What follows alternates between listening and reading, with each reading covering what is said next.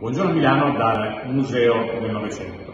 L'opera che vedete alle mie spalle è il celebre quarto stato di Pelizza da Volpedo. Siamo qui oggi perché esattamente 100 anni fa, il 20 di maggio del 1920, il Comune di Milano acquisì questa grande opera.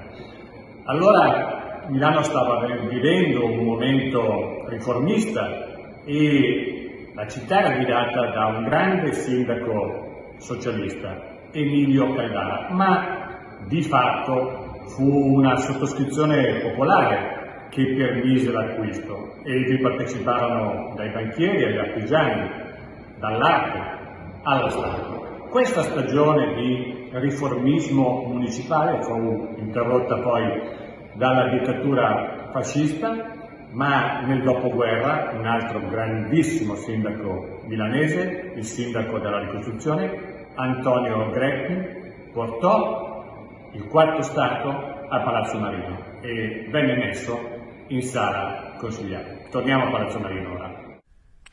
Il quarto Stato è uno dei quadri simbolo del Novecento, tant'è vero che Bernardo Bertolucci lo scelse come immagine simbolo del suo film che si chiama appunto Novecento, tra l'altro consiglio di rivederlo nella versione integrale, io l'ho fatto molto recentemente.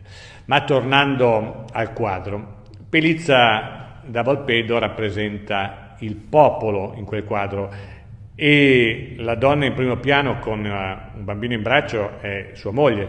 Rappresenta il popolo ma soprattutto riconosce il grande valore del lavoro.